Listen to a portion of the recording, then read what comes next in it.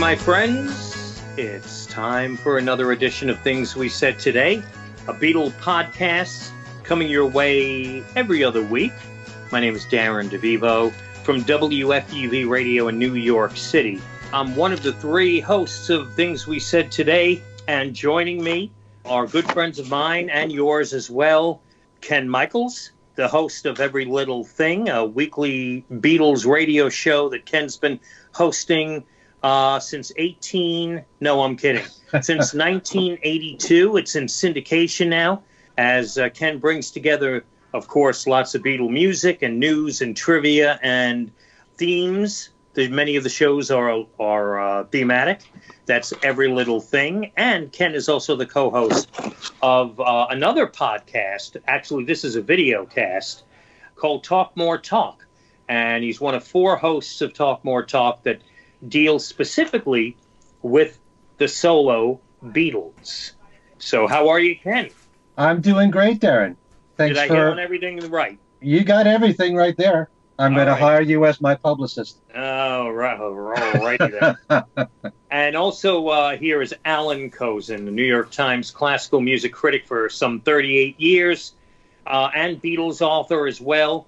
He's uh, written a bunch of books, uh, single out the Beatles from the cavern to the rooftop, and got that something. How the Beatles, I want to hold your hand, changed everything. And these days, uh, he writes for a bunch of publications, including the Wall Street Journal and the New York Times, and highlights for children as well. Just probably kidding. pay well. And and fill in the blank on the few that uh, I am missing, Allan. oh, I don't know. Um, well, He doesn't Beatle remember fan, you know. Beatle fan. I'm, I'm a contributing editor of Beatle fan for uh, since the early '80s, so I should mention them because That's very important, absolutely. So here we are, Darren, Ken, and Allan. It's things we said today. Our first, uh, I think this is our first show of the spring of 2019. it's snowing here in Portland. I got to tell you. Uh, yeah, it was snow. it was snowing in, in Pennsylvania like a couple of days ago. So That- it's in the 70s here in New York. okay, Hmm. and it's it's kind of warm here in Connecticut. So, So we're not be- suffering. before we get started uh, with the topic for today, Ken's rounded up uh, news for this show. News of uh, the week, or weeks, actually. the last three weeks, but I'm going to condense it because there's way too much to cover. I'm going to start with the news that broke a few days ago that a new film documentary will be in theaters and will open on May the 24th at ArcLight's Cinerama Dome in Los Angeles, and it's called Echoes of the Canyon, which explores the uh, the robust music scene at Laurel Canyon in the 60s when the Byrds, the Beach Boys, Buffalo Springfield, the Mamas and Papas, they were all thriving. And uh, Ringo Starr is one of the artists who was interviewed in the film, as are people who were a part of it, the artists that I just mentioned. And um, so that's something that we have to look forward to. Uh, there'll also be an album coming out to tie in with this, with artists like Jakob Dylan, Cat Power, Beck, and Regina Spektor, all interpreting music from those artists that I just mentioned from the Laurel Canyon days. Nice. Also, uh, Paul McCartney is now making available the film The Bruce McMouse Show separately. And you can purchase it as a download or you can rent it. It's now available on iTunes. And as we all know, it was part animation, part live concert footage of early Wings concerts. So that's now available on its own. All right. Just recently, we heard the news that the Beatles Cirque du Soleil show Love in Las Vegas achieved a milestone with its 6,000th performance. Wow. So, congratulations to the cast and crew for uh, keeping the show exciting since it started in 2006. Who would have thought that this show would be so successful that it's been running now for 13 years? So, Show of hands. Who's seen it? oh, so at once. I have my hand up, but you wouldn't know that because. Uh, but I, I did see it once myself, and I'm assuming Allan did. I did, yeah. I saw the 10th anniversary show. Oh, okay. You didn't see it when it debuted? I did not. I had refused in principle. because, um, well, I mean, back then I was still basically the Times' Beatles desk, and they had uh, where they were pitching this to me, and I felt that I should take the stand that until they put out the remastered CDs and maybe some more unreleased stuff, they were sort of wasting their time doing a site-specific, you know, circus show in Las Vegas. But uh, that that kind of meant I still needed to, you know, somehow acknowledge that it was happening. And they said, uh, well, if if you won't go to Las Vegas, uh, if Giles comes to New York with his hard drive, would you agree to meet him in the studio and listen to the mixes? And I mean, hey, can't turn that down. Uh, mm. And that was a lot of fun. I mean, hearing it right from his drive, you know, in studio conditions with um, studio speakers, and uh, gotta say, it sounded incredible.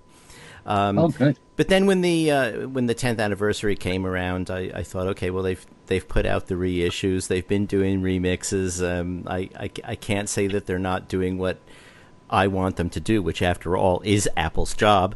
Um, so mm. I went and uh, really enjoyed it. Uh, when I went out there, it was a quick trip uh, to San Diego, uh, L.A., and Las Vegas with the family, and uh, I, it was perfect timing because uh, when we were in L.A., which was literally for half a day, I got to spend considerable amount of time at Amoeba Records, and then we were right near the Grammy Museum in LA, and they had a Ringo Starr exhibition going on. Uh, and this was, I don't know, this was maybe five years ago, give or take. Actually, mm-hmm. it was in 2013, come to think of it.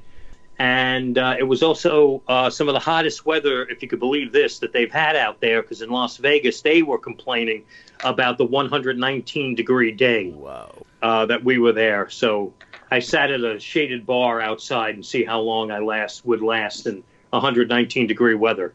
It was not one beer. It was less than that. I couldn't deal. But anyway.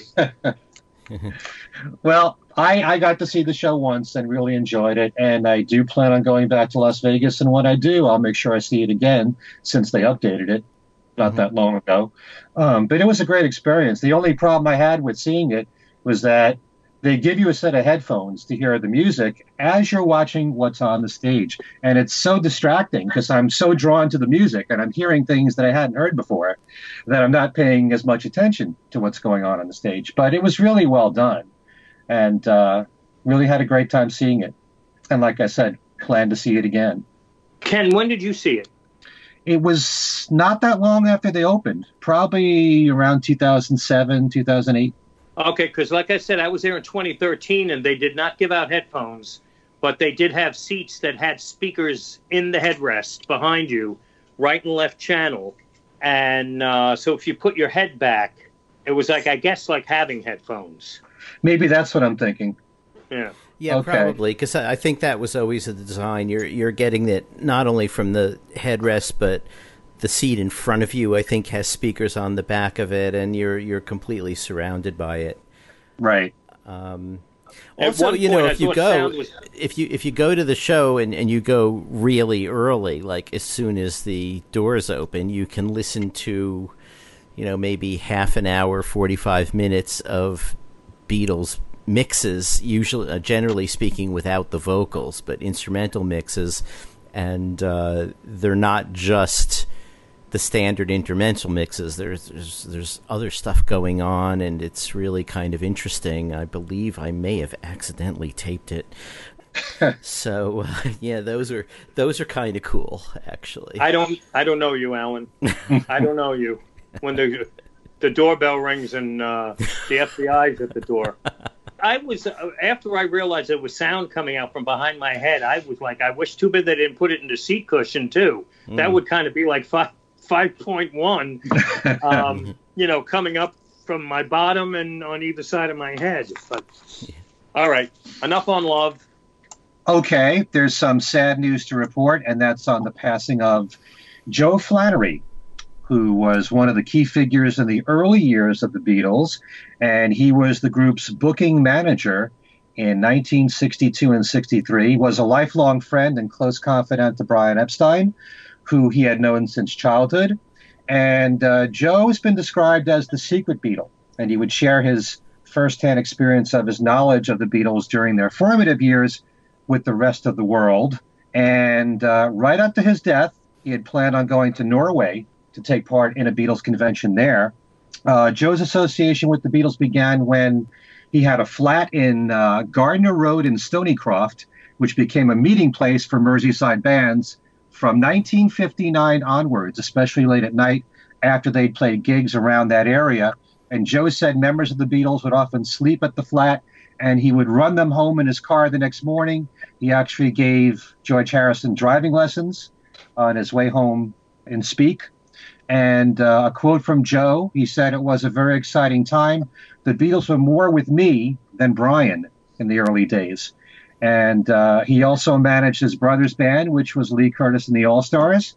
And he put out a book about his experiences uh, in his uh, autobiography, which is called Standing in the Wings The Beatles, Brian, and Me, which was published in 2013.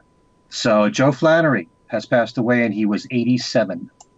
There are, um, I believe, some people who feel that Joe uh, seriously exaggerated his um, involvement with Brian and the Beatles, and that uh, ultimately Brian and Joe were really competitors in a way. Uh, uh, it is worth looking up for listeners who have this on their shelves, which everyone should. It's worth looking up in uh, Mark Lewisohn's Tune In, um, the Joe Flannery sections, because some of it is actually pretty funny, including the incident where, because he wanted Pete Best to join Lee Curtis in the All Stars, he actually sort of blurted out the news that Pete had not yet heard that he had been sacked by the Beatles, and Pete didn't actually even know what he was talking about. Hmm. Wow. Very interesting. Okay. did you read his book, Allan? Joe's? Yeah. Uh, yeah, long ago. I can't uh, recall much about it, but yeah. Okay. Well, something I'd like to investigate in at some point. And um, I know that you guys have some news about a John Lennon release for Record Store Day. Uh, right. Okay. Um, there is John Lennon's Imagine Raw Studio mixes, uh, which is going to be coming out. It's, it basically is material from the Ultimate collection, you know, the Imagine release that uh, was out in the fall but it is on vinyl and it is sequenced in the order of the Imagine album, but it's the raw takes without the string overdubs and the um, studio enhancements, like you know, extra reverb, whatever. So it's kind of like the the finished takes of the Imagine album, but without the production touches. As they tend to do on Record Store Day, they'll they'll do these vinyl albums that will actually be kind of abridged versions, maybe of bigger releases that either have come out or will come out. So I guess they kind of uh, skimmed some of the uh, cool stuff from the Imagine box set and turning it into now a standalone vinyl only album, which could be a little a little deceiving in, in so much that some folks might think, oh, it's all it's additional stuff that wasn't on the box set and it's on vinyl. How cool! But um, no, it is stuff from the from the box set. There is also, if you can allow me to chime in with two things here, sure. releases that folks might be interested in. There's an Elvis Costello EP, which is actually being credited to Elvis Costello and the Imposters. It's called Purse. The words and music of Burt Bacharach, Paul McCartney, Johnny Cash, and Bob Dylan with Elvis Costello. They don't get in too much detail about the source of the four songs on on the EP, but uh, two songs per side, and the second uh, song on side one will be "The Lovers That Never Were," which uh, was on Paul's "Off the Ground," and it's one of the Paul McCartney Elvis Costello compositions. So this will either be a demo, this could be perhaps maybe a new recording, being that it's being credited to Elvis Costello and the Imposters. But in any event, uh, it is uh, coming out also on Record Store Day. Purse, the name of it, a new EP from Elvis Costello and the Imposters. And in addition to that, there's going to be a Badfinger album that I'm very excited about, which is, as I try to pull up the specifics, title and all, going to be a collection, here it is, called So Fine, the Warner Brothers Rarities.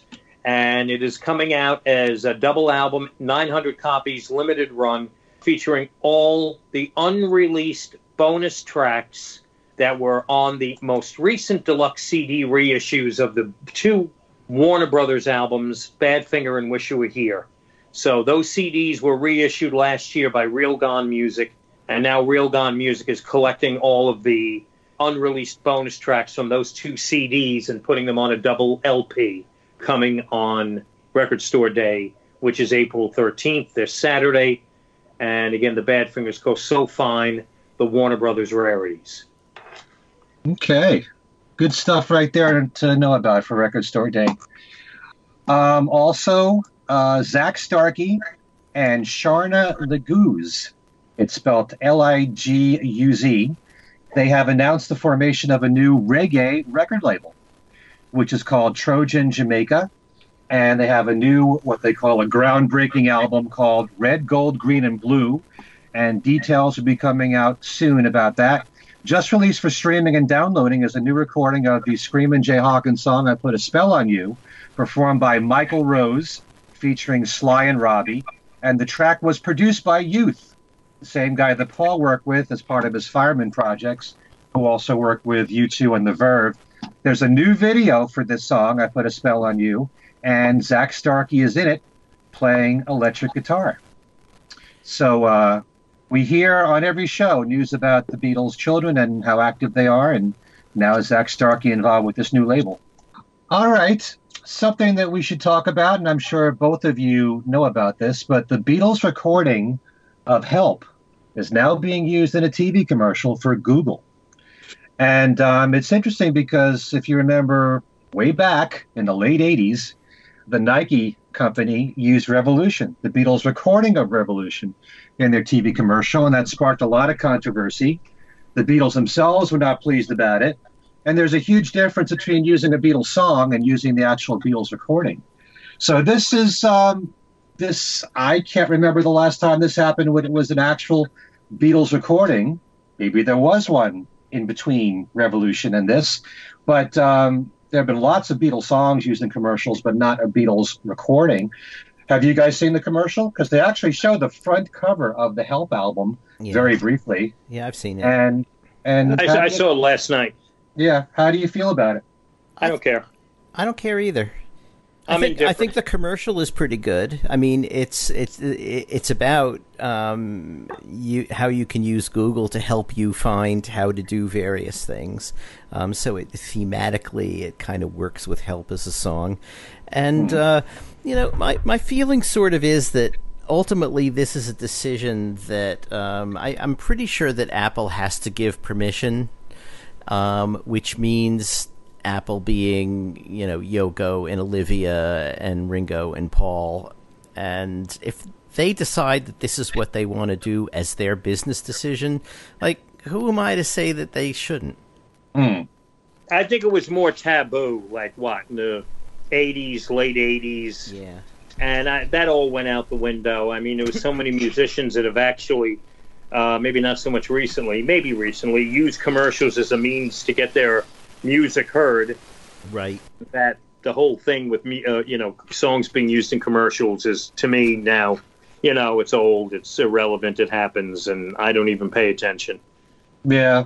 I mean, my opinion about this whole thing has changed 180 degrees since the Revolution commercial happened because there were people then that thought that it really cheapened the song and cheapened the catalog. Yeah. And George Harrison himself at the time, this was all around the time of Cloud Nine, you know, he was very vocal about it. He would talk about how the Beatles were made offers all the time for the songs to be used in commercials, but they always said no. And um, he said he didn't want their songs to be used in something that would be really in bad taste, like sausages or women's panties or things like that. And, exactly. Uh, exactly. How did you get sausages and women's panties in the same? Uh, I don't know. we need to. God knows what I'm thinking about here, but uh, we need to. We need to talk after the show's over. okay, but um, nowadays I just think there's so much competition out there between new music and old music, and it's a good way to get the music out there and possibly introduce it to new generations of fans. And so you see tons of commercials nowadays where they use old songs. And recently I've, I've heard a lot of uh, Harry Nilsson music or Kinks music used in in uh, in TV commercials, and I think it's fine. If if somehow young people hear it and they find out that it's a Beatles song and they like what they hear in the commercial and it leads to them getting one of their albums and maybe from from that then they become a fan then i'm all for it. Yeah yeah i, I agree i mean what you had said about the the time that the revolution thing came out and the way everything was looked at and the way the beatles felt about you know ha- having rejected offers all the time and i mean all that's true but I don't know that it even matters today, and it's not like I don't know. People are there are people who are really upset about this. I mean, I've had quite a number of emails, and uh, someone did a, a tweet on Twitter where they complain about this, and they tagged me, Yoko, Olivia, Paul, and Ringo, like I have something to say about this. Like, what, like uh, you know, what's what's wrong with this picture? we know um, you do, Allan. Yeah, you fess right. up. Yes, well, well, you could look at it this way: um, if uh, the Beatles weren't making money from the sale of uh, the rights to use their songs in commercials, they might have to be putting out these huge, expensive box sets that would cost us. Oh, wait a minute. Actually, I'd but rather you know, they did that. it's a whole world out there uh, that there are there are people whose job it is to place old music mm-hmm. somewhere, whether it be commercials or movies or video games or whatever. Yeah. And if young people discover old music that way, then that's a good thing. So, exactly. Anyway, a few other news items. Laurence Juber, who was great at the fest uh, last weekend, has a new album coming out April 26th. It's called Downtown, named after the Petula Clark hit. It's basically an album of standards plus one original. And he did indicate at the fest that he will be working on what will be his fourth CD of Beatle covers, which he does magnificently on acoustic guitar. So uh, Laurence Juber's new album called Downtown, again, due out April the 26th. And Allan, you've got uh, a major story to tell us.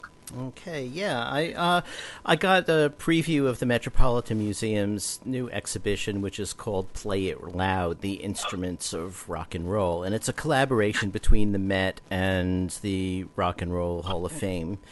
Uh, and what they've done is, uh, you know, the Met has a permanent instrument collection, and it's instruments from all cultures all over the world. Um, some of them quite valuable. Some, you know, but really, it's it's an incredible collection. If you're in the Met, you should just look at anyway. But this exhibition opened on April eighth and uh, runs through October first, and it's got instruments from something like 80 musicians, including, you know, for our purposes, the interesting stuff is uh, George Harrison's Hofner Club 30 guitar, which was his first electric guitar. Uh, and it's, you know, it's kind of a crappy guitar, but it is pretty historical. I mean, it sort of bridged the period from the Quarrymen to the Beatles and I was looking at it, looking at it from the side. You you can see it's got really a pretty high string action. That must have not been that comfortable to play. They also have uh, Ringo's first Ludwig drum set um, with the Beatles logo on the front with the drop T, all of that. There is a Rickenbacker 12 string uh, it's sort of, it's like the Rickenbacker 325 of John's, but this is a 12 string model um, also given to John and loaned for this exhibition by Yoko, I believe. And it's a, a 12 string guitar, but uh, you know, it, from the front it looks like a six because the way Rickenbacker made it is that six pegs were, you know, to the side the way the normal pegs are, and the other six pegs face the back. So you can only see those from the side. Um, mm there is they have a uh, a Hofner bass that looks like Paul's but isn't Paul's, but they have it right next to one of Paul's that was made for him uh, for the Palace at the Party. So it's uh, the Hofner bass with the the Union Jack painted, you know, it's painted as a Union Jack. The whole thing is a big Union Jack in the shape of a Hofner bass, um, but it's a functioning bass. They have the Rickenbacker, I think it's a 425 that George played on the I Want to Hold Your Hand sessions and uh, various radio and TV sessions for for a while. I don't think he brought it on tour.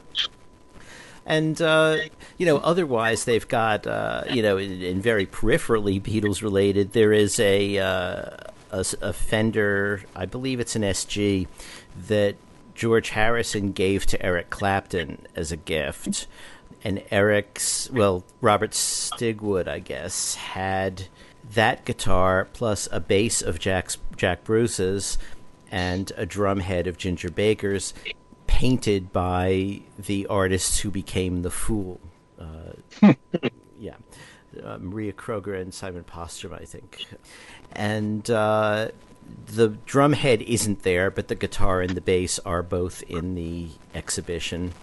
Um, there's lots of stuff from Jimmy Page, uh, Van Halen. I mean, you walk in, the first thing you see standing entirely on its own against the wall is the Gibson guitar that Chuck Berry used to record uh, uh, Johnny B. Goode and lots of other stuff. But uh, so it's it's really a fun exhibition. It um, goes pretty much up to the present. I mean, there there you know there's a guitar of of Annie Clark, who is better known as Saint Vincent, one that mm-hmm. she helped design. Um, oh, cool! Yeah. There's a couple of Prince's guitars. There's a Lady Gaga piano with, uh, you know, outcroppings of acrylic and uh, LED lights. But tons of, you know, 60s guys are in this show. Uh, and a very, well, comparatively few women, but uh, more than originally when the show was announced, there were complaints that there weren't any women. But there are uh, 11 of the 80 artists in the show are women. And I, I asked the curators about this, and they said, listen, you know, in early rock, especially, women tended to be singers rather than instrumentalists. Um, and nevertheless, they tried to accommodate that by pointing out with one of Bo Diddley's guitars that there were some women guitarists in his band who used the same model, and they mentioned that.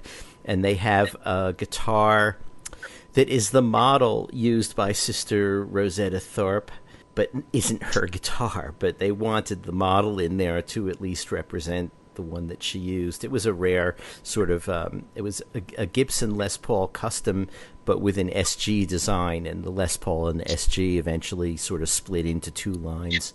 So, um, but anyway, the show runs through October 1st. Um, there's tons of great stuff there. Uh, you can easily spend a couple of hours just sort of walking through and um, looking and listening to things. Uh, you can't play the instruments, obviously, but there is a section where they have um, uh, stage rigs of Jimmy Page, Keith Richards, Van Halen, and um, Tom Morello from Rage Against the Machine, and each of them, each of those has a video screen where Page, Keith, Van Halen, and, and Tom Morello talk about their instruments and the sounds they get. And uh, Jimmy Page actually plays a bunch of stuff from Led Zeppelin One. It's it's like listening to just the guitar track. He plays it exactly as it was, and also you know, bit of Stairway to Heaven, Whole Lotta Love, stuff like that. And it, it's interesting hearing them all talk about their relationships to their instruments too.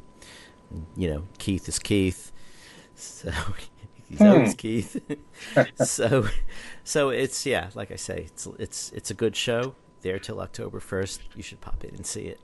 And I want to know how you found out, Allan, you weren't supposed to play the instruments. You, did you try to grab one of the guitars or something?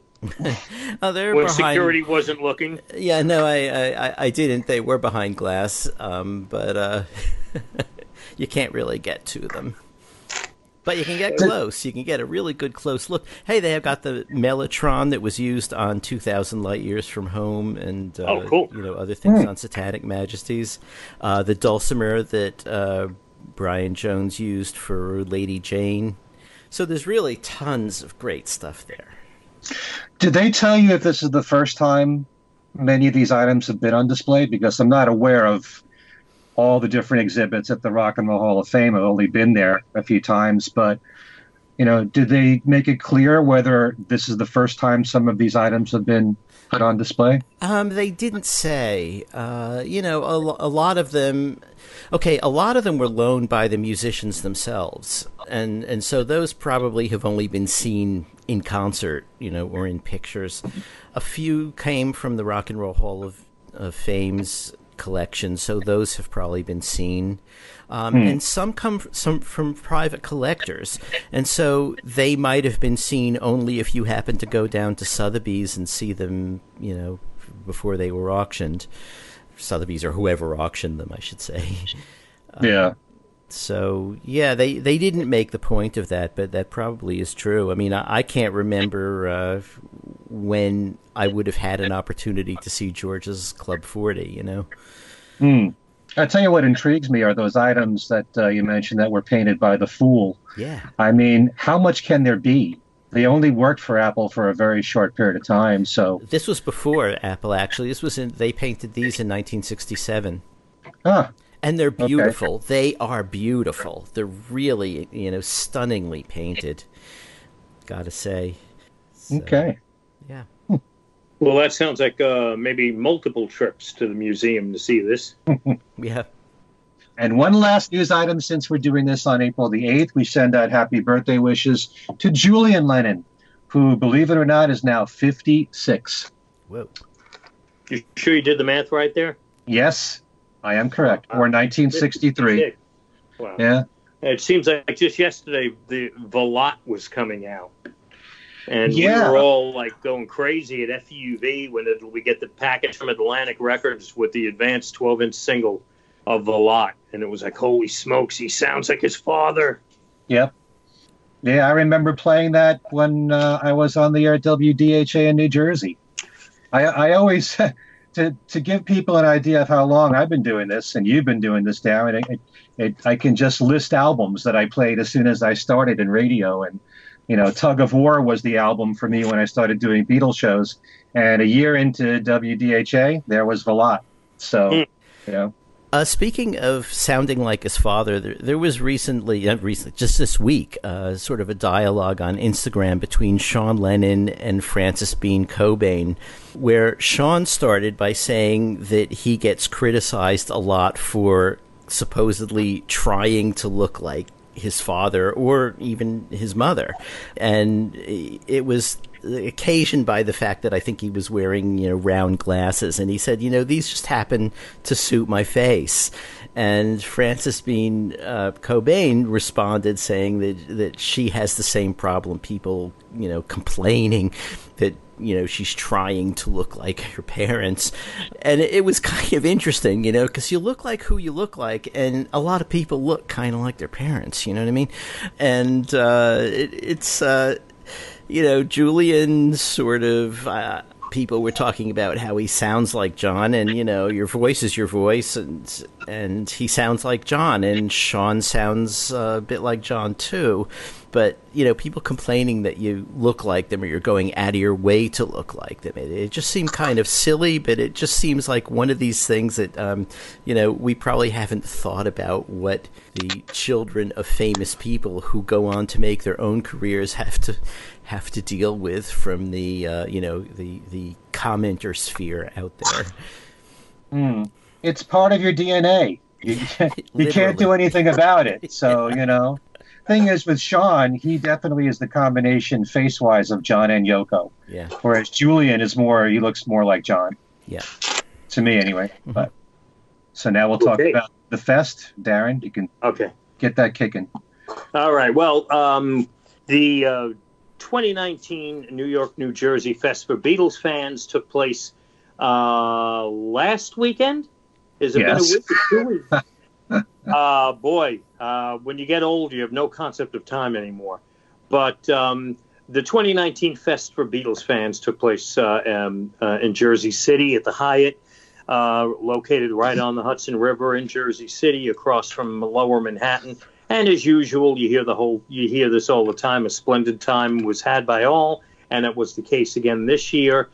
I have felt in recent years perhaps the guest list was thinning a little bit, but boy, this year Beatlefest made a big time comeback with um, Alan White of Yes, the drummer of Yes, who also before he was in Yes played drums with uh, John in the Plastic Ono band. He was on All Things Must Pass as well, and joined Yes, replacing Bill Bruford in 1972, and is still with Yes today. Although his health has pretty much robbed him of the ability to play more than just a couple of tracks, a couple of songs uh, live. But Alan White was there, which was great. The Zombies showed up on Saturday, the day after they were inducted into the Rock and Roll Hall of Fame.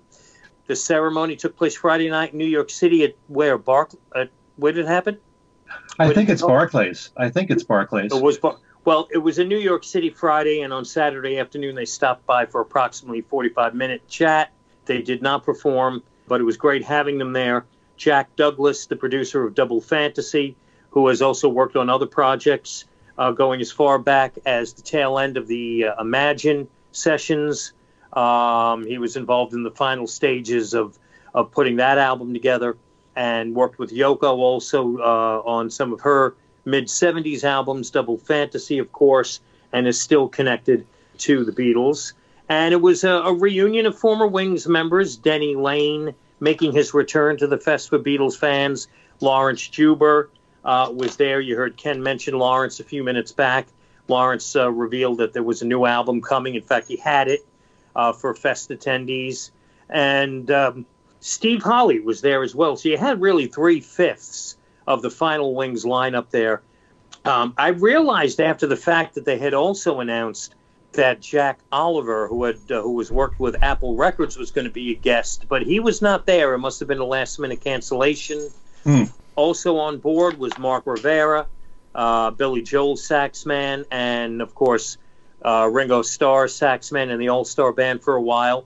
Uh, Mark Rivera pretty much uh, playing with Billy Joel now, I guess, as a full time gig with Billy playing the Garden, and um, so he hasn't been on tour with Ringo in recent years but Mark Rivera was there. Of course, Liverpool, which is kind of like the Beatlefest house band, mm-hmm. uh, performed and had the guests joining them. And there was a whole slew, as, as always, of authors and other uh, people who have dedicated themselves to the Beatles. So, and uh, Ken and I were there. Unfortunately, Allan was not there, and Ken and I were amongst uh, a good number of uh, quote unquote experts who did panels throughout the course of uh, the two and a half days. And uh, I had the pleasure of being up on the main stage on Friday night. I got to chat with some of the guest authors and other special guests, and then had had the opportunity to talk with Alan White, Jack Douglas, Denny Laine, and Laurence Juber for a little over an hour, perhaps an hour and 15 minutes. We had a session, and then uh, I co hosted the Friday night dance party on the main stage after that. So I was pretty much in the main ballroom uh, all of Friday night. And then Ken was around through the weekend. We were on a couple of panels together on Saturday and Sunday. I was on another panel Saturday night. Very hard to gauge attendance, especially if you've come to the, if you've attended the fest in New York, well, in New Jersey. All these years, you kind of got, we got used to being at a hotel in Secaucus, uh, and you kind of over the years learn what a busy, well attended fest looked like in the hallways and in the parking garage. So I didn't really get a gauge on what attendance was like. Friday was light, but I think uh, the weekend uh, was pretty well attended. And it was a great weekend. We had a good time. And I know if you go to the Fests, at least their Facebook page, probably their website too, there's all kinds of photos up there of uh, the guests and performances and whatnot. Okay. Can I give a quick summary for me? Sure. Absolutely. All right. Uh, a lot of highlights. That's it. weekend. Time's up. Uh, definitely Saturday night at uh, the end of the night when Liverpool uh, backed up the Three Wings guys, and they did about half of Back to the Egg, which I was very surprised because usually whenever any of the members of Wings, especially the last lineup, if they ever attend the fest, you'll get Rockestra out of them. You'll get Getting Closer. But uh, they did again and again and again. Old Siam, Sir, Spin It On, We're Open Tonight. So glad to see you here. And they sounded great. And Glenn Burtnik, I got to give him a lot of credit, as I do everybody in Liverpool.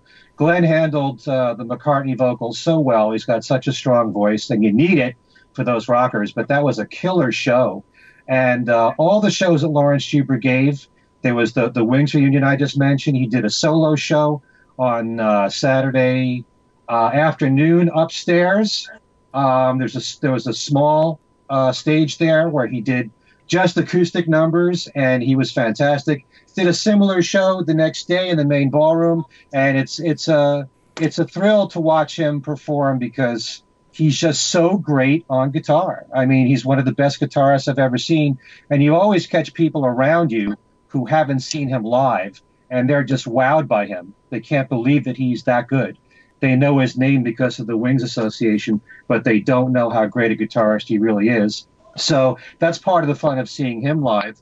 Uh, our good friend John Montagna, who was yes. a guest here on this show, he did, and you were with me, Darren. He did his own clinic on Paul as a bass player, and he walked you through some of what Paul was doing on songs like "Come Together" and "Something," and uh, the Abbey Road medley. At the end, he explained why what he was doing was so innovative and comparing that to what each member of the Beatles were doing on each song and how it all fit, how they all collaborated together and were locked in, in particular the bass and the, and the drumming. And it was fascinating. In fact, there's a video online of, of John talking about Paul's bass playing on something, and you should see it. It's edited very well, explains why his bass playing on that song was so fantastic, as well as the whole album, and explaining, as he did on our show, why Paul deserves so much credit as a great bass player. That was a definite highlight for me. And of course, that, all the panels. Let me just jump in quick. I thought John's pro, uh, performance, his session was fantastic. And I told him afterwards that, you know, it just, uh, I thought it was thrilling. So just wanted to add that and thumbs up to John. Yeah. And I hope we have him back on the show soon because we got a great response from that show.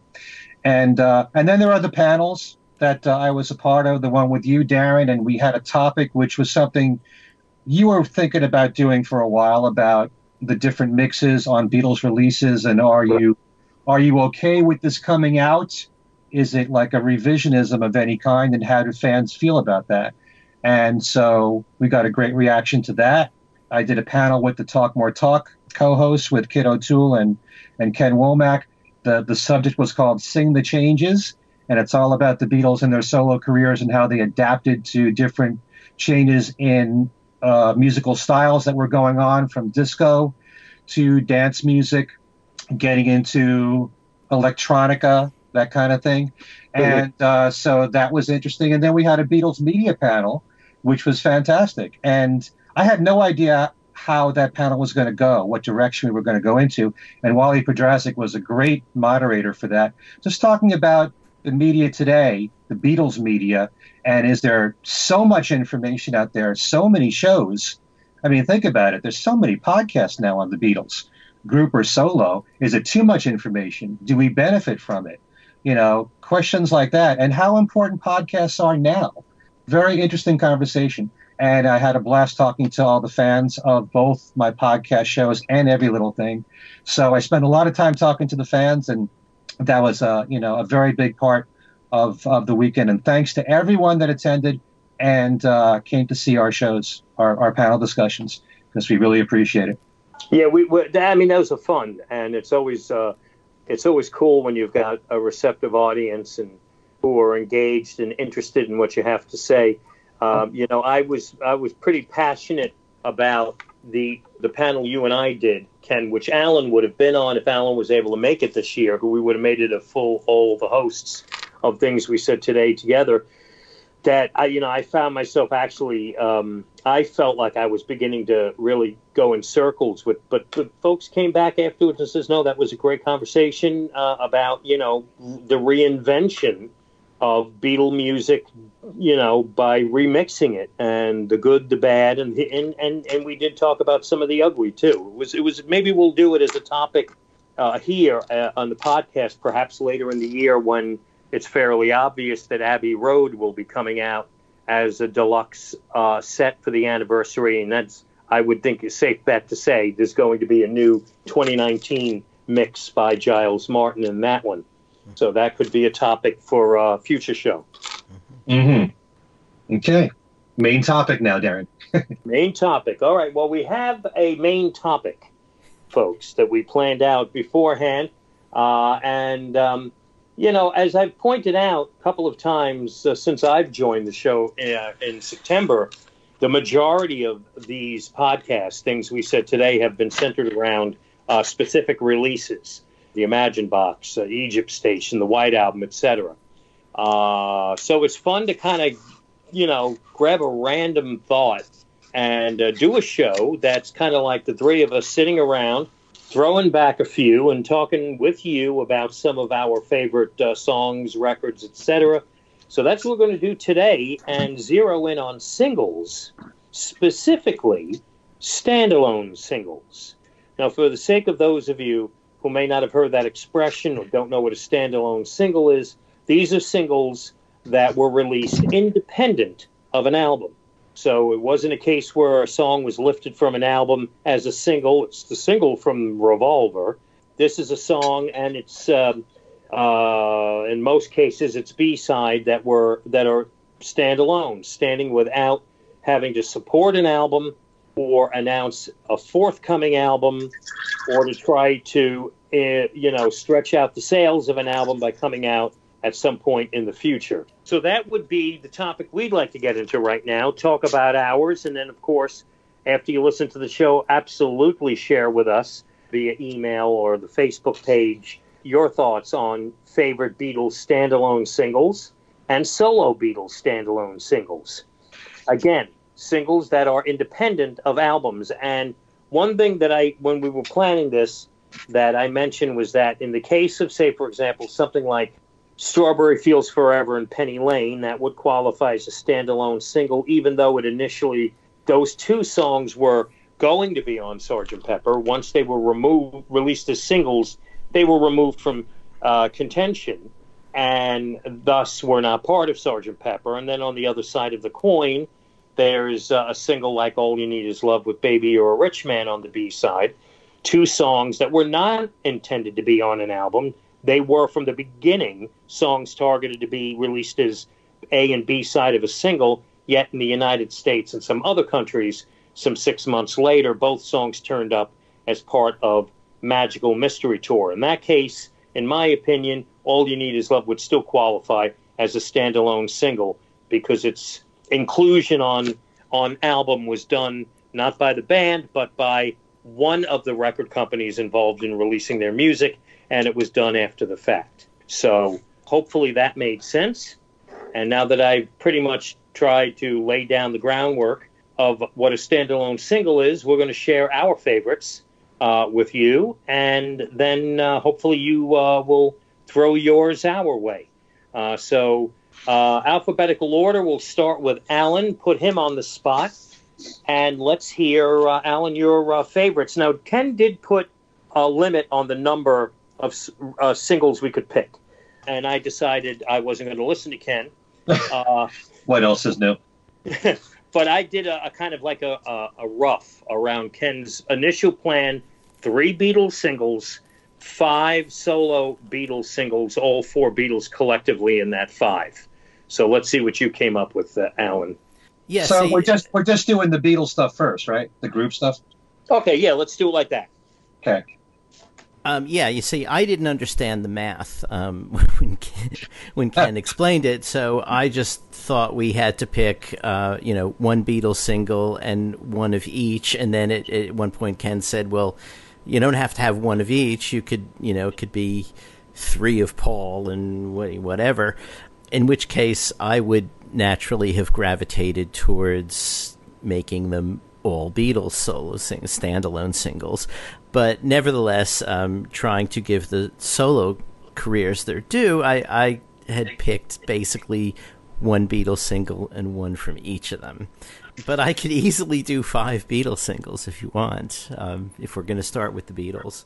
Okay. Uh, because the thing is, um, you know, in the UK, I mean, basically, you know, Darren was explaining that what what a standalone single is, and in the UK, they were mostly standalone singles because they had this policy of not having the single on the album because they felt that um, if you went and bought the single and then you went and bought the album, you were paying again for two songs that you had already paid for.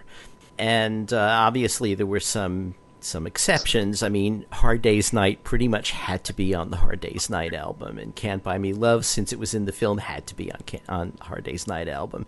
Uh, same with Help, but in the UK, most of their singles were standalone, and uh, I would say that my top one would be Strawberry Fields Penny Lane. I mean, that single just always amazes me. Uh, it, it, it never go gets old.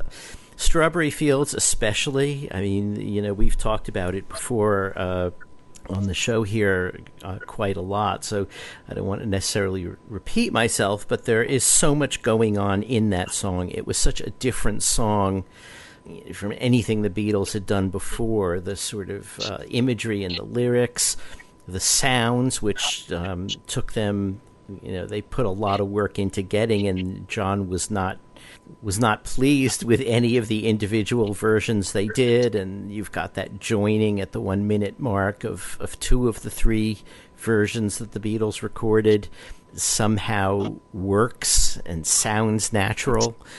And uh, and then Penny Lane, you know, is it was similar. I mean, it's a more conventional song in that the lyrics are really straightforward. You know, you're you're getting a picture of of, of the Penny Lane area, uh, the roundabout, the barber shop, still there, as we know from the uh, James Corden interview with Paul during this last summer.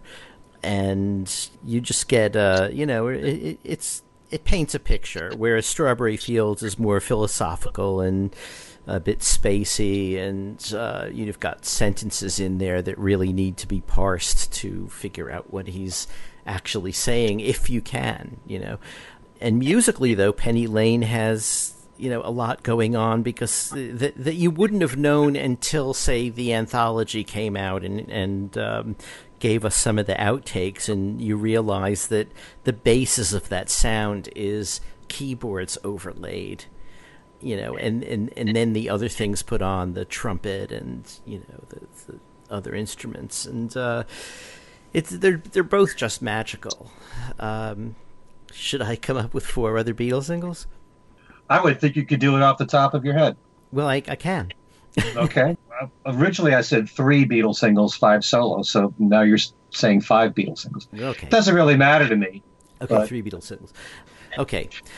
So just to sort of ad lib two other Beatles singles, um, just off the top of my head, I mean, I would go to Paperback Writer and Rain as my next one paperback writer. You know, again, pretty straightforward storyline. Um, people say that it is Paul writing about John in a way as a paperback writer, since John put out some some books, but it's it doesn't have to be about John. I mean, it, in fact, John never wrote for the Daily Mail, and uh, you know, so it, it's it, it let's say it's a fictional character um, who wants to be a paperback writer, very straightforward, but musically, you got a lot going on. Incredible bass line, incredible bass line on both those songs.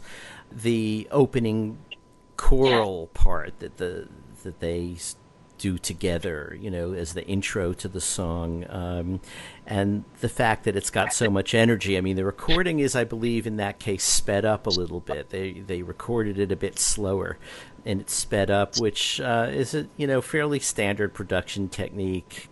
Not sped up an awful lot, but it, it just gives it a lot of energy and. Uh, you know, there's great guitar playing in it, and uh, on Rain you have not only you know interesting guitar playing.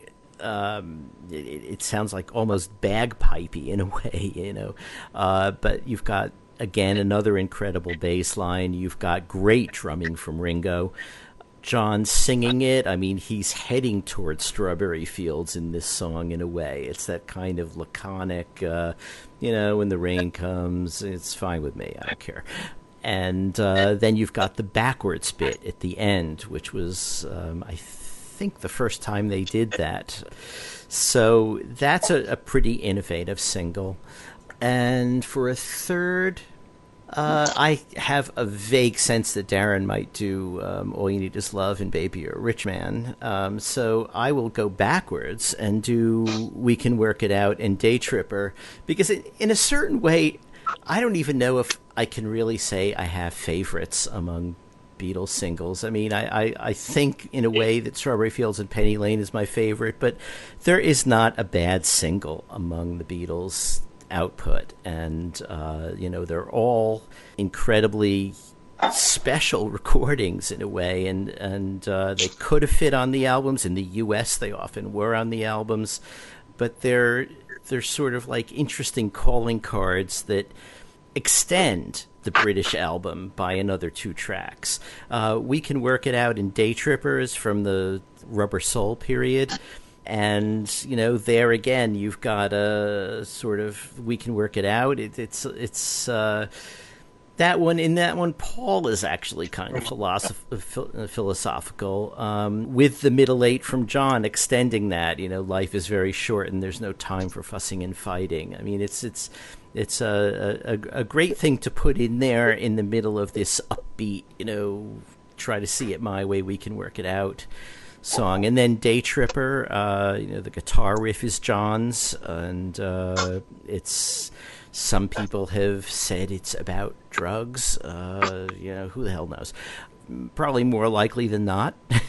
But even if you're looking at it from a totally innocent point of view and thinking of you know Day Tripper as you know just someone who's sort of you know in and out of the picture, it works too. Has a lot of energy, has that interesting riff uh, that that really is ear catching and, and, stays with you. And uh, yeah, so those would be my three. All right. Oh, I got. I'm, I was writing them down, and I'm listening to you and forgot to write down. We can work it out. So there's Allan Strawberry Fields Forever, Penny Lane, first single. Second single, Paperback Writer with Rain. Third one, We Can Work It Out with Day Tripper. Day Tripper was the B side on that one, I think. Yep. Was it? Okay. Yep. Which is amazing the amount when you're researching this and you see songs. Some of the singles are considered double A side, and I never totally understood what constituted a single that had a double that was a double A sided single and what was an A side and a B side. But to some of the songs that ended up on the B side of Beatles singles are classics, and it's these are songs that some bands wish would be their only single that they would have the opportunity to release in their in their careers. And here the Beatles have tossed them on B sides. Yeah. But um, yeah, I just want to say it's kind of muddy when you're talking about A sides and B sides because a double A side to me are, are singles where both sides charted separately and both sides got a lot of airplay, as they were with a lot of Beatles singles. But, you know, I, I will always think of We Can Work It Out Day Tripper as a double A side. Right. You think of Something Come Together as a double A side. But, like in America, would you think I Want to Hold Your Hand? I Saw Her Standing There as a double A side? I don't know. You know, some people think of I Saw Her Standing There as a B side. But well, they, they will always say, um, uh, you know, to jump briefly to the solo stuff, that George's first single, "My Sweet Lord," and "Isn't It a Pity" was a double A side, and it seemed like it was a pre-planned.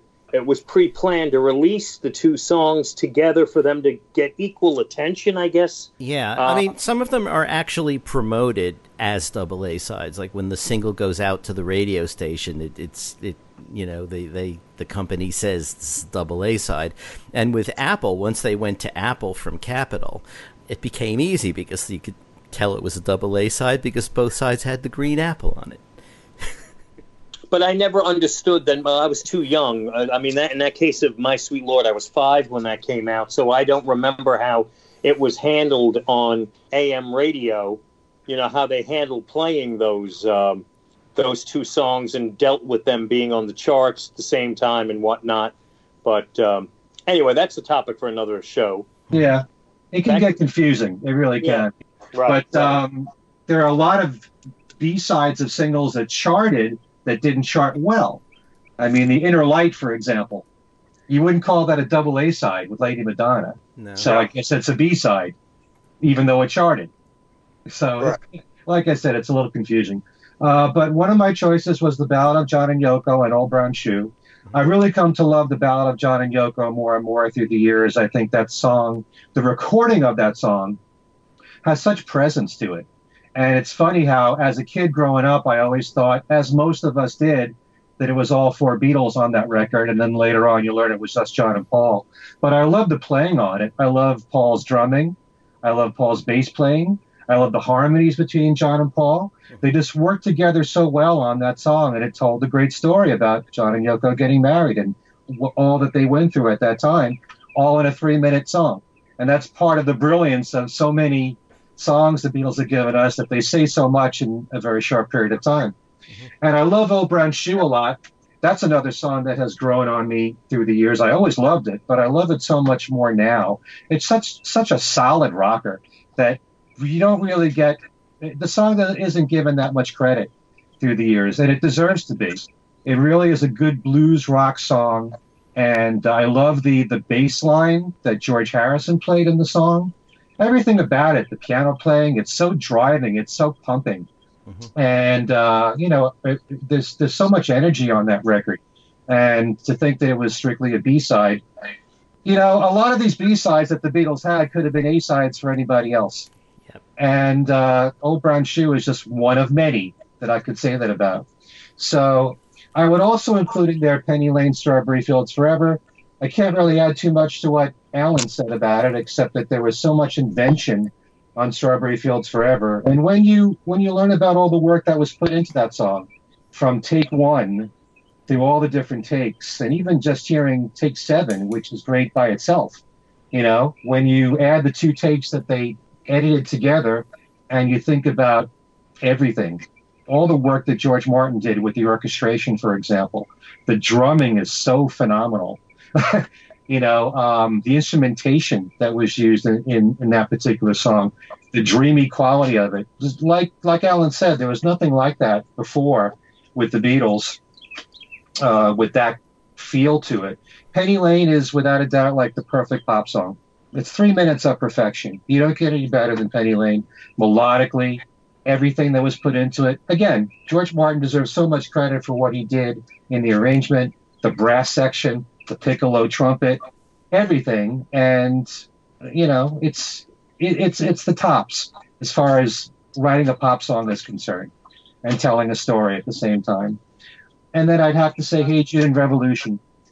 I don't know how it's possible to even top Hey Jude as a song. Although, you know, the Beatles catalog is loaded with so many great recordings, it's hard to say which is the best or which is your favorite. But um, everything about Hey Jude is wonderful the melody, Paul's vocals, everything about the band, and, and leading into the um, nanas and the screaming at the end. And, um, you know, there's a reason why that song was number one for nine weeks. You know, it's um, it's simply an amazing record. And Revolution is one of the best rockers the Beatles ever gave us. It's everything that they put into their to their songs there. The musicianship, every part they played was right. Those are my favorite singles overall. You know, it's it's sometimes it's hard to do, to explain why these songs are so great because we all know they're great. and we've been living with them for 50 years and recognizing their greatness and appreciating it even more as time goes on. But when you think about all they put into their music, in the songwriting and the musicianship, in the production, you know, these were just three of their best singles, standalone singles, that is, in my opinion. And what does the bird have to say? it can sing. Who's by a window? and what are yours, Darren?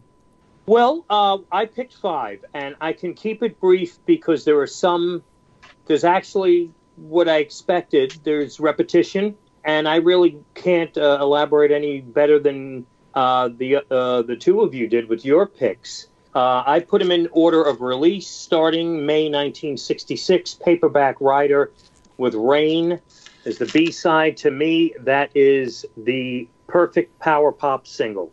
Period that is perfection when it comes to jangly guitars and everything the power pop is. It all goes to that single, Paperback Writer and Rain. Next up, it's actually impossible to do this without Strawberry Fields Forever with Penny Lane. I think that's A and B or double A, as we were saying, from February 67. Next up from March 68, Lady Madonna with The Inner Light on the B side. Uh, I love The Inner Light, and it's gorgeous. And it also benefits because it's one of the handful of songs that gets very, very little attention. So it always sounds fresh when you hear it. Uh, if, you, if you know what I'm saying, you hear it, your ears perk up because The Inner Light does not come around all that often. And that was a little gem on the other side of uh, Lady Madonna, March 68 here in the U.S., the last uh, Beatles record uh, issued on the Capitol label before Apple would uh, take over. The first was August 1968, Hey Jude with Revolution, ditto to what Ken said there. And uh, same deal with the ballad of John and Yoko and the B-side George's Old Brown Shoe, which came out late May, early June of 69. What those are my five. And I noticed after I picked them, but what I essentially did was pick most of the tracks that were on the Hey Jude album that came out in the US and some other countries in February 70 and was the first US compilation album collecting together non album tracks. If memory serves correct, my first ever Beatles album was Hey Jude. I could never, I had, it came out right around the time I turned five and could never figure out why my label said the Beatles again and the spine said Hey Jude. Um, but still, when I hear Rain, Paperback Writer, Lady Madonna, Hey Jude, Revolution, Old Brown Shoe, The Ballad of John and Yoko, I could still picture my copy of uh, Hey Jude spinning on my little phonograph. So perhaps that's why those songs I gravitated to more so than maybe some of the earlier tunes, mm-hmm. uh, early uh, uh singles. So those are my five uh, and, for Beatles. And for people of the last 30 years that are newer Beatle fans, they would be thinking Past Masters, volumes one and two. Right. True, yes, right. Yeah, yeah, yeah, yeah, yeah. That's where these all belong. That's where they are, um, right. except for the Magical Mystery Tour singles. Now, if you wanted, if you somebody wanted to really get technical and disagree with some of the ground rules I laid down at the beginning, you could say, yeah, but Strawberry Fields Forever and Penny Lane were on Magical Mystery Tour. Uh, all you need is love. Big. They, yes, they were. But again, as I mentioned before, those were albums created not by the band, but by a record company. In this case, Magical Mystery Tour, the album was a Capitol U.S. creation, although it did come out in other countries. So maybe it's not accurate to say it was solely a U.S. Capitol release. Will initially, um, you you could also, I mean, it raises another problem because you could pick Hello Goodbye, which came out as a single uh, that was sort of a standalone single, but I Am the Walrus was on the side I, of the Magical Mystery Tour album that was actually intended as, you know. or you that, could say that, that was, all of the Magical Mystery Tour stuff is, is EPs, and therefore they're right, all right. standalone singles. So, yeah. But uh, so that's there's our picks for the Beatles uh, singles. A little overlap there, actually a lot of overlapping, which to me is no surprise. Can but I now make we'll one do... observation about the the picks generally? Yeah, um, yeah. I think that uh, you know I, I, I spent a lot of time listening to the Inner Light when it came out, and also Old Brown Shoe, and especially loved Old Brown Shoe, but but love them both. But you are correct in saying that the Inner Light didn't get a lot of airplay, and uh, you know people were strange about it because it was Indian instruments, and uh, people didn't know what to make of that at the time. Even though by then they'd you know already heard some of George's Indian things, it it really didn't catch on. But I think today people don't have a problem with it at all. And no, not uh, at all and it's kind of like it's it's a pity that George didn't live to see this, but his stuff, both in the Beatles and post Beatles, is now getting an awful lot more respect than it used to. Um, Absolutely. Um, when he was alive, um, and especially during the Beatles years. Um, and it's kind of nice to see. Just yeah, unfortunately, that. Hmm. so unfortunately, sometimes it takes death to do that. Uh, but hey, better late than never. Yeah. Um, mm-hmm. So now on to the solo stuff, and I think we probably the three of us probably picked differently. I did get a little confused and went one route. Ken actually said pick five of by the four of them, and Allan, I don't know. He was walking walking in circles, perhaps. I'm just kidding. so, should we do it now? You know what? I'm going to reverse it. I'm going first this time. Okay. With the solo records, what I did was I went individual with each Beatle, and it worked out nicely. Except, of course, McCartney tended to do, do this more often than the others. Release these standalone singles. So McCartney got a little a little tricky for me to try to pick just two by each. Okay. Now, when it comes to the singles, I was thinking of them as a, a complete entity, A side and B side jointly. If I wasn't crazy for the B side, then the single itself, in my line of thinking, suffered and maybe didn't make my list. Now, we know the case with John's singles, many of them had Yoko on the B side. So, for example, let's say uh, Power to the People. Here in the U.S., the B side was Touch Me from the Yoko Ono Plastic Ono Band album. And well, uh, Touch Me is a tough listen. Let's leave it at that. So I was tempted to drop Power to the People from my choice because, again, it's a standalone single. One of my favorite singles. The B side carries some weight in that decision making. But Power to the People was so stinking good. And it has a, a, a very near and dear to my heart because it was released right around the same day that I turned six. And I have vivid memories of repeatedly playing it in a jukebox when I was six on a, a family vacation who had uh, several jukeboxes scattered around the resort, and they all had Power to the People in them. And upon returning home from this vacation, my mother bought the single for me, and Power to the People, which I love the song, goes without saying, but it has a, a personal connection to it that's very strong and pretty much it overrides my, let's say, disinterest in Touch Me on Yoko's B side. Hmm. Now, for my other pick, I went with Instant Karma, We All Shine On. Not only is it an anthem, it's a classic Lennon track, quintessential Lennon track, one of many. But the B side, Yoko's song, uh, which is um, Who Has Seen the Wind. Oh, I, I confused myself. I'm reading my notes wrong. Okay, no, I'm okay. I'm okay here. What I did was I did John two different ways. I picked strong A sides and then sing two singles where the B side counted as well. So for my strong A side, I went with Power to the People and Instant Karma, We All Shine On. And for complete John Yoko singles, I picked Instant Karma, We All Shine On with Yoko's Who Has Seen the Wind on the B, which is actually a pretty good song. Mm-hmm. And I also went then with Happy Christmas War is Over, which had another rather lovely Yoko song, Listen, the Snow is Falling on the B side. So, uh, so my complete John singles, Happy Christmas War is Over, with Listen, the Snow is Falling on the B, and uh, Instant Karma, We All Shine On with Who Has Seen the Wind on the B side, and ignoring the B sides, the two strongest A sides, I went with Power to the People and also I also picked Instant Karma. We all shine on.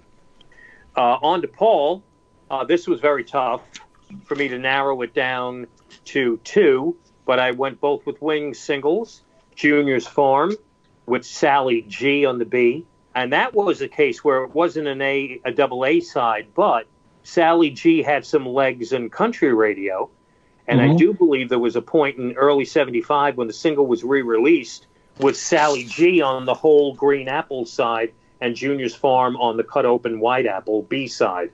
But uh, originally released in the October of '74 from Paul McCartney and Wings, Junior's Farm, and Sally G. And my other pick is Mull of Kintyre, a classic McCartney song if there ever was one, and one of his great rockers, Girls' School on the B side. U.S. radio tended to want to flip the single uh, and pay more attention to the B side uh, maybe the confusion of preferring the B side to Mull of Kintyre caused the single to stall here in the U.S., but Mull of Kintyre was a massive hit worldwide.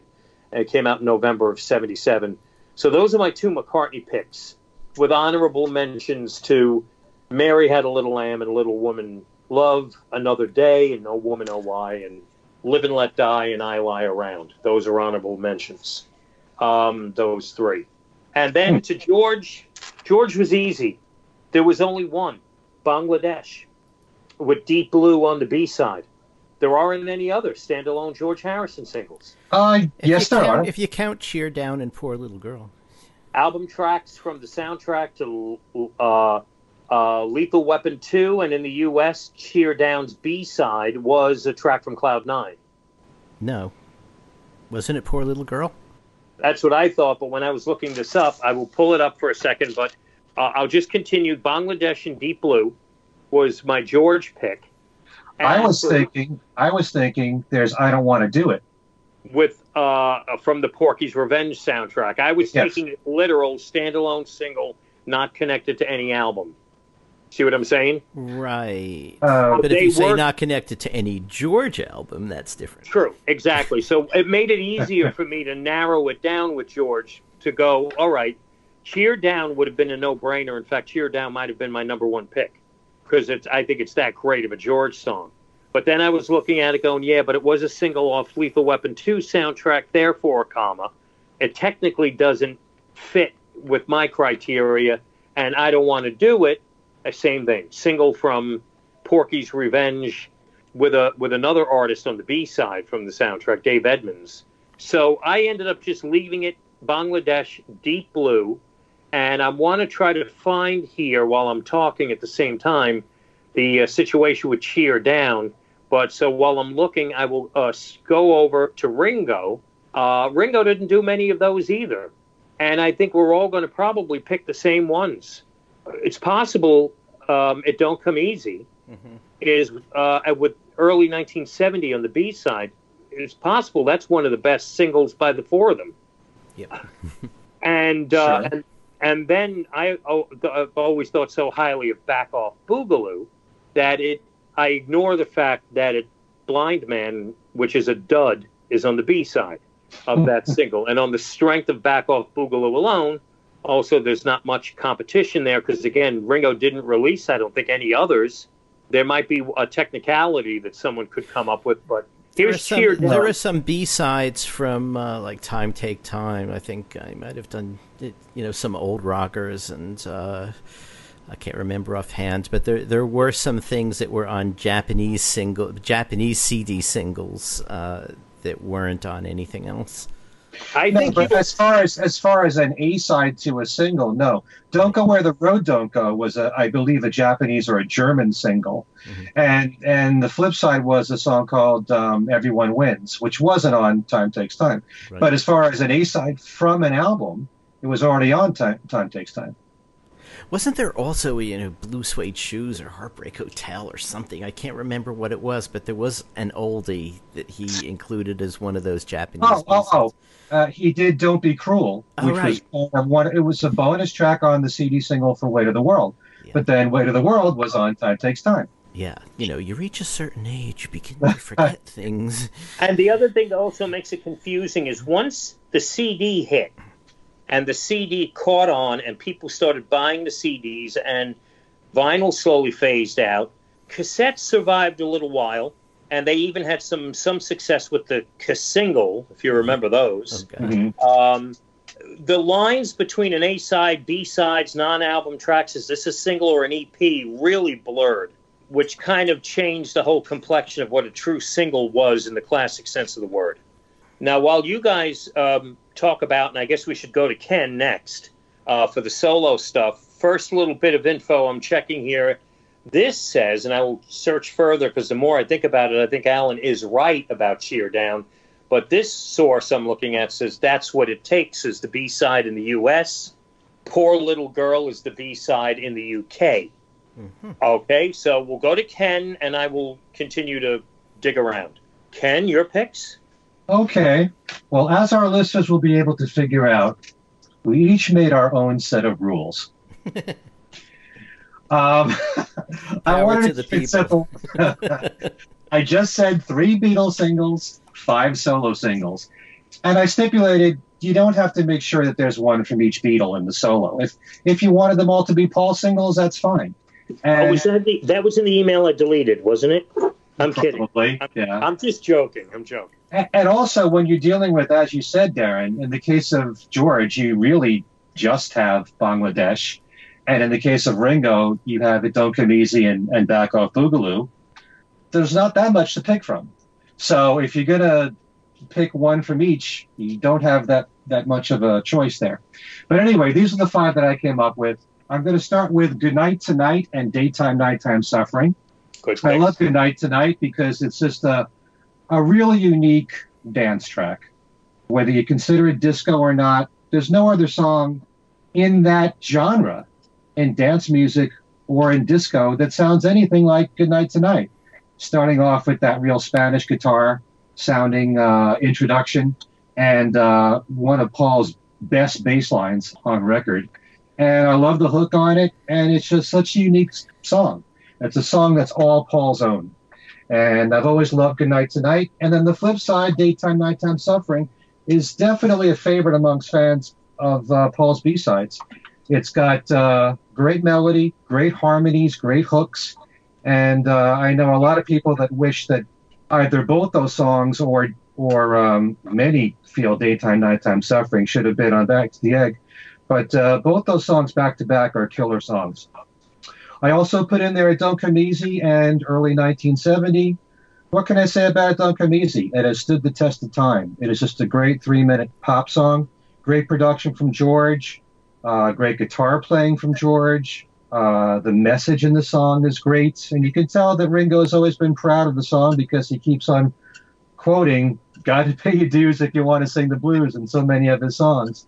And early 1970 is a great little nod to the other three Beatles an affectionate nod to them. And uh, if you're a, a Beatle fan, how can you not enjoy Ringo writing about the other Beatles this way? Um, I had to include Instant Karma, which to me is like one of the greatest singles from the Beatles group and solo counting combined. Everything about it is exciting. And when you, you hear what John said, and it's a great quote, although not totally accurate, you know, I wrote it for breakfast, I recorded it for lunch, I put it out for dinner. He didn't do all that in one day, but it certainly has that feel of immediacy to it.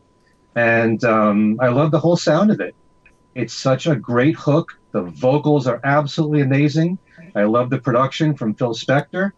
It's uh, everything you could wish for in a great rock rock track that's a John Lennon single. And as a B-side, I love Yoko's Who Has Seen the Wind. Very pretty melody and very oriental flavor to it.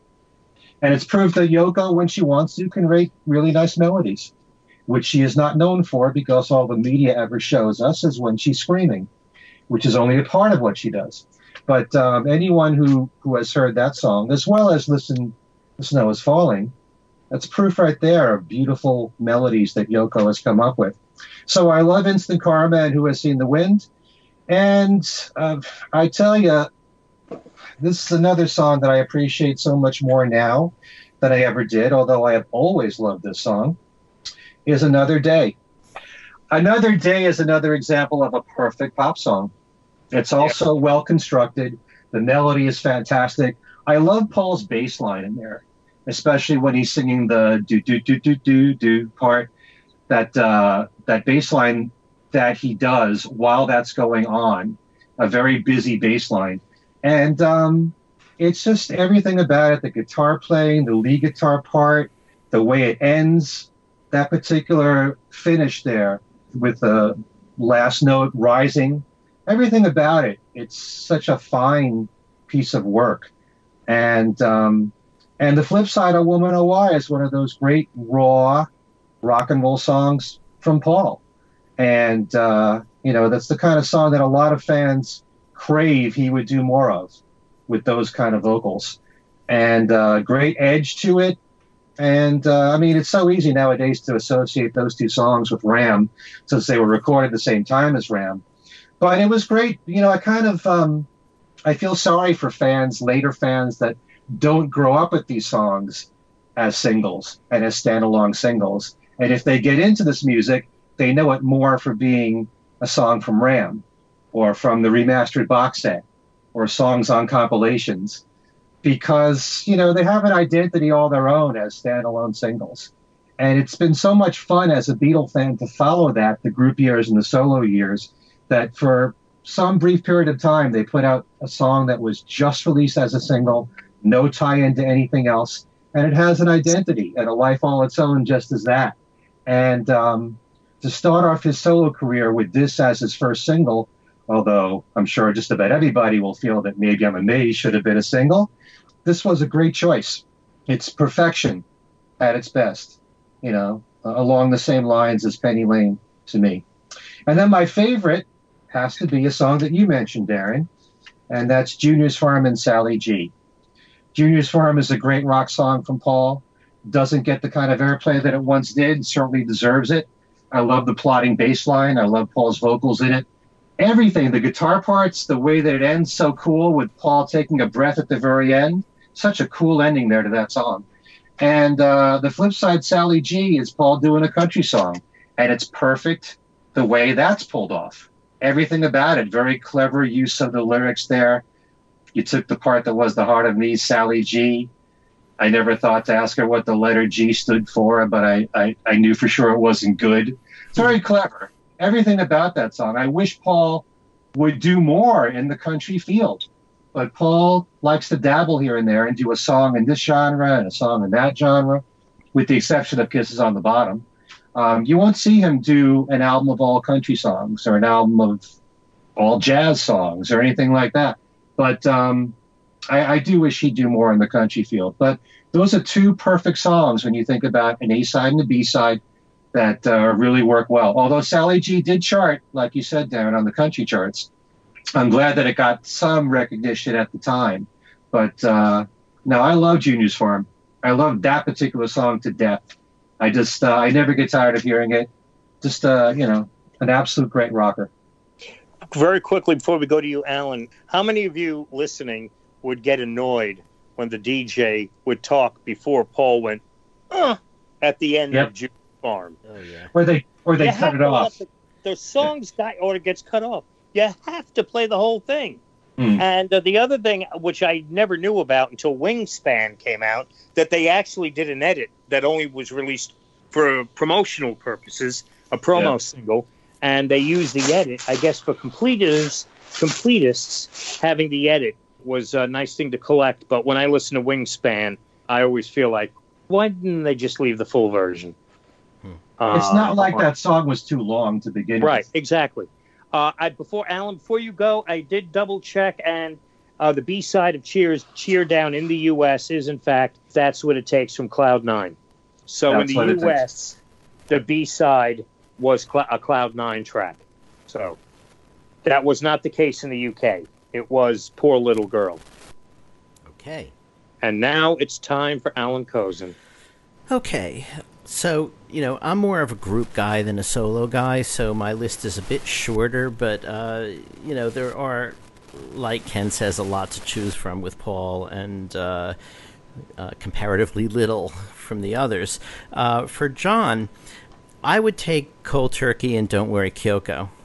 Cold Turkey is, you know, he wrote it for a reason and he wrote it to document as as a lot of things on Plastic Ono band, you know, to document his pain about various things. In this case, going off drugs, and you know, it, it, it musically, I mean, the guitar parts are just uh, you know perfect for the subject and the the uh, sort of sort of pounding backing and John's vocal on it uh, is is really incredible. It's I think a great song that is overlooked a lot of the time just because I think people are uncomfortable with the subject matter. I think, you know, John, I think, offered it to the Beatles as a potential single, and they were uncomfortable with it. Mm-hmm. Um, so put it out on his own, and uh, it's it's it's really a great recording. Don't worry, Kyoko as well as. Um, you know that is Yoko in her sort of driving rocker uh, uh, phase. Uh, there's there's a bit of that on Yoko Ono Plastic Ono Band too. John used to in the comparatively few performances he did, um, used to like going from Cold Turkey into Don't Worry Kyoko. Uh, and there is a rehearsal tape of them rehearsing for the one to one concert um, in which Yoko actually objects to this. You know, she says, What Why does Cold Turkey always have to go into Don't Worry Kyoko? I don't like that. So, but you know, I mean, he didn't have a, a, a, vast concert career, so there are comparatively few examples. But uh, anyway, so that's that's John. I, I, agree. Instant Karma and Who Has Seen the Wind is, a, is a, really great single for all the reasons that were said. So I, I don't need to repeat that. For George, yes, again, you you've basically got uh, Bangladesh and Deep Blue. Bangladesh, you know, I mean, uh, I remember when that came out, and I went to that concert, and um, it was sort of interesting having a topical song. I mean, you know, John wrote "Instant Karma," saying, you know, you well, you said, you know, wrote it for breakfast, put, mixed it for, recorded it for lunch, and put it out for dinner. I mean, his idea was that songs could be journalism in a way. They could deal with a hot issue, get out real quick. Well, that's what Bangladesh was too. You know, he heard about the, the, the sort of uh, devastation in Bangladesh, which had just recently broken away from Pakistan, and uh, it wasn't pretty. And and he wrote about how there needed to be help for that. I mean, even before the the concert was announced, I think the single was out, and uh, so it was probably one of the earliest charity singles, you know, in a way. I mean, way before We Are the World, you know. Uh, and Deep Blue, the B side, uh, sort of a, you know, we were talking about Old Brown Shoe as a, a, great little blues track. This, too, it's an unusual blues track, and it's, uh, you know, got a nice acoustic texture, really good slide part. I, I actually may have played that side more than Bangladesh when the single came out. Mm. So on to Paul. That's a little tough, you know, because uh, I'm tempted to include, partly because it hasn't been included by either of you, um, Give Ireland Back to the Irish, uh, Wings' first single. This, too, was one of those, you know, songwriting as journalism things. I mean, Paul wrote it quickly over a weekend, recorded it a few days later, and, uh, you know, it was banned by the BBC.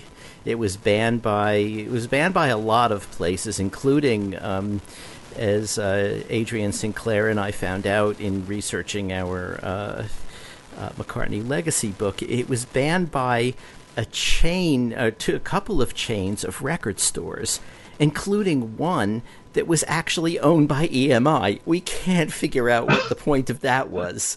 Uh, but but yeah, you know, um, EMI was very touchy about putting that single out, and uh, you know, they sort of suggested to Paul that maybe it wouldn't be a great idea, and he said, "No, this this is important to me, and I want to have a say about this." Now, he wrote that song the same day John wrote um, "The Luck of the Irish." Yeah, or possibly uh, "Sunday Bloody Sunday." Um, hmm. I mean, those those two were uh, the same, about the same thing. But John's didn't John didn't get his out, you know, for all his talk of journalism and uh, you know instantly getting out. He didn't get his out until sometime in New York, uh, quite a while later. And for Paul, this was also, I think, a special single because John had been right before this single came out, John had really been taunting him about the granny music and being conservative and not taking chances. And, and this was Paul really sort of stepping out and taking a chance because it's not like everybody agreed with the sentiment give Ireland back to the Irish. Uh, so, you know, and uh, Henry McCullough, who had just joined the band and was Irish, uh, you know, actually he and his brother got beat up in a bar because of it. Uh, hmm. So yeah, it was. Uh, you know, a lot of people don't think of it much as you know one of the great Paul McCartney singles, but it's I think an important Paul McCartney single for a number of reasons. Um, I would also choose uh, High High Hi" and "C Moon," mainly because of High High High. I don't, I don't like "C Moon" all that much, but I mean it's okay. It has some of his sort of you know not quite up there lyrics like it will be L7 and I'll never get to heaven if I fill my head with glue. I mean, give me a break. Um, although I kind of like the L7 thing, you know, the L7, L7 as a square, right. you know. But High, High, High is really just great, and I especially like it because the very first line mentions bootlegs, which are very near to my heart. Um, Interestingly, you know that was um, that faced some radio problems too, uh, because of you know I'm going to get high, high, high, as uh, you know made it seem like a drug song, and it kind of was. Um, you know, again in the research for this book, I was looking at some of the session sheets, and all of the session sheets spell the title like this: H I G H H I H I G H. And that includes the session sheets for the live recordings that were made in Europe in 1972, some of which just came out on the, uh, you know, Bruce McMouse and also the Live in Europe extra disc that uh, was part of that deluxe edition of Red Rose Speedway, mm. uh, etc., and Wildlife those those session sheets also spell it, you know, high as in getting high, then high as in hello, and then high as in getting high. So, you know, it came out as a single, just H I H I H I, making it, you know, in, in a way, it's almost as if he sort of stepped back and is hiding behind the idea that it might just mean hello, hello, hello, but it clearly meant, you know, like getting high. Or it could have just meant up there in terms of height. Who knows? Well, we know. Or um, it could have been about having your head filled with glue. uh, yeah, right. You, you know, right on the other side of the single. I mean, there's another clue for you all. Hey, uh, there it is. We uncovered the great secret. Yeah. It is a drug song about sniffing glue, the whole single. That's right. Everyone thought it was about marijuana. but there was also the controversy that some people thought that there were sexually suggestive lyrics. Right. Get you ready um, for. Uh, uh, Get my, you ready my, for my body gun. Some right. people thought is what he was saying when it was polygon. He actually said polygon, but I believe he admitted in the um, booklet for the uh, which one is this on Red Rose Speedway now? Uh-huh. Uh, that that Body Gun is actually a better line, but yeah. Polygon is kind of funny. I mean, it doesn't mean it doesn't make any sense. Body Gun makes much more sense. Um, but uh, yeah, there's there's that too. So you've got between Polygon and L7, you've got some peculiar lyric choices here. But uh, but I like the single. I like the sound of high. I like the energy in high high high. Uh, C Moon. You know, there's some nice arrangement touches there. The trumpet, the um, vibraphone, xylophone. Yeah, yeah. So there's that, and that leaves Ringo, which, as we've all said, comes down pretty much to "It Don't Come Easy" in early 1970. The only thing I can add, and I might have said this on the show before, I'm not sure. Early 1970 is seemingly the song that was originally called Four Nights in Moscow. Four Nights in Moscow was one of those titles that used to come up on Beatles bootlegs in the very early days uh, and mentioned as one of those unreleased songs and uh, was on a lot of lists. And I asked Ringo about it. I said, you know, do you remember recording a song called Four Nights in Moscow? And uh, I think George produced, and John was somehow involved in it. And and he said, no, you, you just read that in someone's book. And I said, oh no and I pulled out the session sheet for that, which I happen to have. And he looked at it and he said, You know, I really have no idea what this is, but it was an actual EMI session sheet. And the only thing I can figure is that it had to be four nights in Moscow because it's all, you know, when he comes to town, I hope he'll play with me. Uh, when he comes to town, I know he's going to play with me. I mean, it, it seems to to fit, you know, what that title would have been, what's going on there. Um, and the date was about right for when that would have been recorded. So, hmm. yeah, so there's just a little tidbit for you. Um, I never knew that, and I don't know if I've ever heard of Four Nights in Moscow. really? Ah, well, yeah. Well, because you're a youngin. well, yeah, youngin. Yeah, I mean, you well now I live in the country. I can say stuff like that. You know? I feel like this is this is Little House on the Prairie. I think. You know? yeah. Uh, well, I mean, you know, you, you said you were five when Hey Jude came out. Yeah, I was in high school. I mean, no, I was act- when Hey Jude came out. I was three. Uh, the Hey Jude album. I mean, the Hey Jude album. Yes, I right. actually it was a few weeks before my fifth birthday. Mm. um, but uh, I know, but those little things like the age and stuff, that's important to me. That I can hang a lot of these singles and albums onto you know those very for- early formative years when Absolutely. you know. And uh, well, I guess that uh, brings uh, brings to an end our seven-hour show. Uh, and uh, folks, this was our white album. Okay, things we said today, white album version. Uh, a lengthy show. Hope you enjoyed our picks of our singles. Please, of course, share with us your thoughts on the songs, the singles. Ken mentioning uh, sausages and, and panties earlier on, and um, and the fun that we had in recapping all the news and your record store day shopping. So I guess that uh, brings to a close this edition of Things We Said Today. So let's go around the table here. Contact information. I'm Darren DeVivo from WFUV in New York City. Easiest ways to reach me or to send me an email at WFUV, and the address is Darren DeVivo, spelled out D A R R E N D E V I V O, at WFUV.org, or go to Facebook and like the page called Darren DeVivo on WFUV Radio, and uh, we'll be connected. And over to Allan. Okay, the easiest way to get to me is through Facebook. Um, you can write to me either uh, at Allan Kozinn on Facebook or Allan Kozinn Remixed. And uh, you can reach all of us at by email at things we said today radio show at gmail.com. We have a Twitter presence, which is at things we said fab and we have a group Facebook page, which is Things We Said Today Beatles Radio Fans.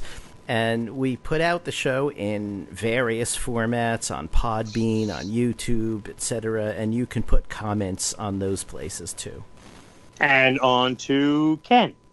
Okay, if you want to get in touch with me directly, you can email me at everylittlething at att.net. Be sure to visit my website, which is kenmichaelsradio.com. As I hope you know, there is a Beatles trivia page where you can win one of nine prizes every week. And periodically I get new prizes to give away. And I just got the brand new Blu ray for the movie I Want to Hold Your Hand, which has just come out from the Criterion Collection with bonus tracks on it. And I also have a special contest coming your way, which will start probably the end of this week. I would figure maybe around April 12th. A couple of years ago, there was a book that came out called Ringo Starr and the Beatles Beat by Alex Cain and Terry McCusker. And it's a detailed look at Ringo's drumming in the Beatles and all the percussive work that was done in the Beatles um, on so much of their songs. And um, it's a very thick book, and you can win it on my website. Just go to kenmichaelsradio.com for all the details. And be sure to check out my other podcast, Talk More Talk, a solo Beatles video cast. The next show is actually going to be this coming Monday, which is April the 15th, tax day. And usually, both these shows, things we said today and Talk More Talk, go out the same week. And now that's all been screwed up. So it's going to be every other. We're going to flip each week. This week it's things we said today week. Next week it's Talk More Talk. I don't know what we'll be talking about in our next show, but it'll be next Monday at uh, 9 o'clock Eastern Standard Time. Go to our Facebook page, Talk More Talk, a solo Beatles video cast. Join me, Ken Womack, Kit O'Toole, and Tom Hunyadi for that show. And I think that covers everything. I think we're all set. And I was going to say, one of these weeks, we will probably uh, unscrew things up so that the two shows to two podcasts are coming out the same week uh, as it, they did uh, once upon a time. Well, you know, for those of us who miss the days when this show was every week, what you can do is take this show and listen to one hour one week and then the second hour the next week. This is sort of like John saying, just take my single, Paul single, George's That's single, right. Ringo's That's right. single, and you got a new Beatle album. There you go. Well, for uh, Ken Michaels and Allan Kozinn, uh, I'm Darren DeVivo. Thanks so much for uh, spending uh, this week long show with us. I'm just joking. Thanks for spending time with us here at Things We Said Today. We'll be back in a couple of weeks, and we will see you next time on things we said today.